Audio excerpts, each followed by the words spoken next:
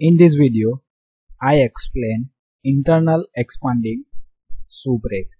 So this brake is consist of two shoe. Name is shoe S1 and shoe S2 as shown in a figure. So here you see this is the diagram of internal expanding shoe brake. So why its name is given internal expanding shoe brake? So here you see this outer part is the brake drum and inside the brake drums the complete brake means all the component of the brake are installed. That's why it is called internal.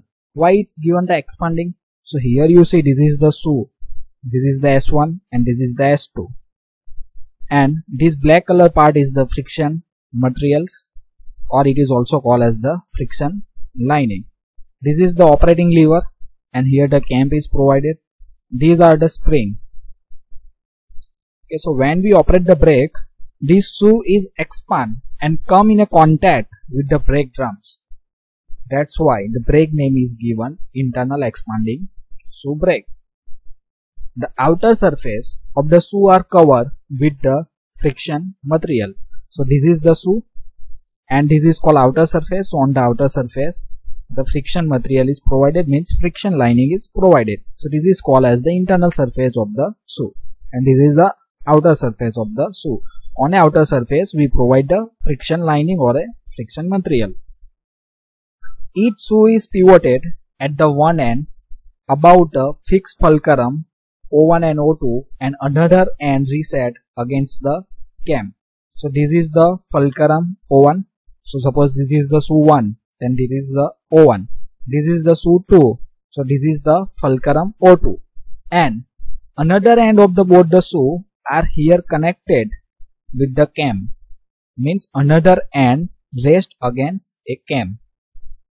When cam is operated by using this operating lever, the shoe are pushed against the brake drum. Means when we operate these operating levers, this cam is operate and this cam is push the shoe towards the brake drums and the brake drums and the shoe are come in a contact and the rotating wheels or rotating members are stopped.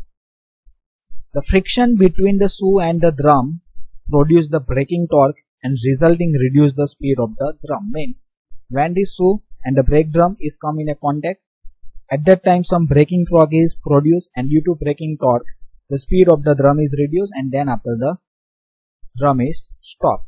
So this type of the brake is commonly used in motor cars and the light trucks even it is also used in a bike. So in this diagram you see when we operate this operating lever at that time this cam is operate and this shoe is operate. So when the shoe is operate this friction material is come in a contact with the brake drums. And here some braking torque is produced and due to this braking torque the speed of the drum is reduced. So thank you for watching this video. If you learned something then like the video and subscribe my channels for watching the more video related to basic mechanical engineering or other subject of mechanical engineering, for BME subject various link is provided in descriptions as well as in card. For other subject I request to visit the playlist.